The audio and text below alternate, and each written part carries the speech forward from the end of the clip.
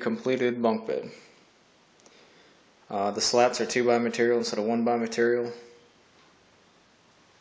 They're all cut out into, let's see, whoops, got one.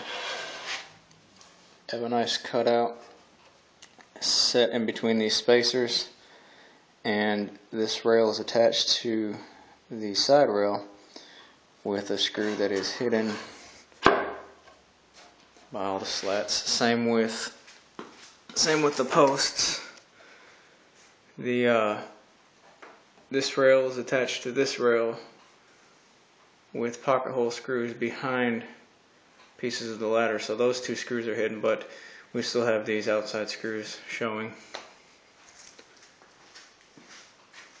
Both sides double as ladders to go up to the top, which pretty strong. I can get up here very easily.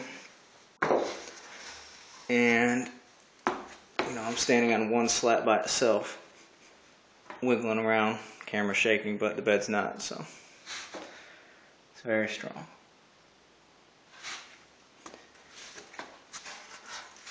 Get down real quick.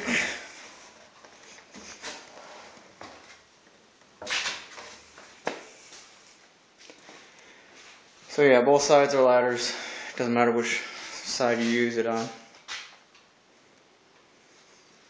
And the top slats are just like the bottom slats. They just sit in some spacers. The middle one, middle one is screwed in, so. But there's spacers in between all the slats. But that's it. Full size bunk bed, or I'm sorry, twin size bunk bed. For a standard twin size mattress.